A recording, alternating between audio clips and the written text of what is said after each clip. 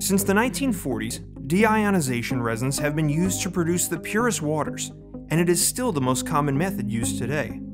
In operation, deionization resins eventually reach exhaustion and need to be regenerated. The cost of regeneration for acid, caustic, rinse water, and labor are very substantial. Cation, anion, and mixed resin beds are often monitored by direct measurements of sodium, silica, and conductivity. While all of these purification methods are very sensitive and reliable, they have a common disadvantage. They detect exhaustion only after breakthrough with no advance warning. This means the process water is already being contaminated at the same time the measurement detects it. So let's put this into a real life scenario to illustrate the problem. Without means for monitoring resin capacity remaining, it is much like running a car with a broken fuel gauge.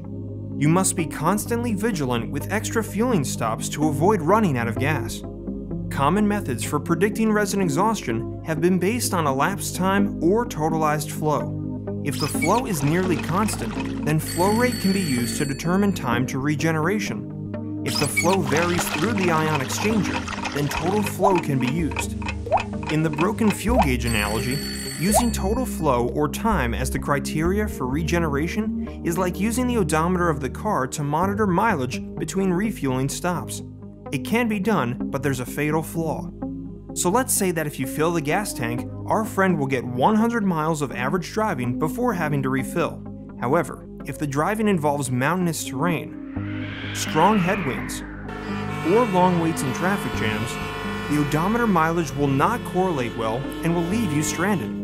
Mettler Toledo Thornton is able to provide a better solution in an innovative M800 multi parameter transmitter with DICAP deionization capacity monitoring. Feed water conductivity is measured and converted to TDS, total dissolved solids, using an adjustable conversion factor in the M800 firmware. Flow rate is also measured and applied to the calculation. This calculation accounts for the total ionic load entering the DI column by correcting for both the conductivity of the water and for the decreasing activity of ions, providing an accurate estimate of the amount of resin used.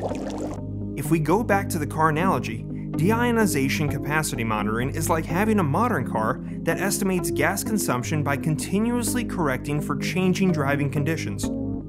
The M800 with DICAP provides a real improvement in DI system monitoring and troubleshooting. Even slight deterioration in performance can be detected, allowing for a more proactive approach to improve efficiency and reliability.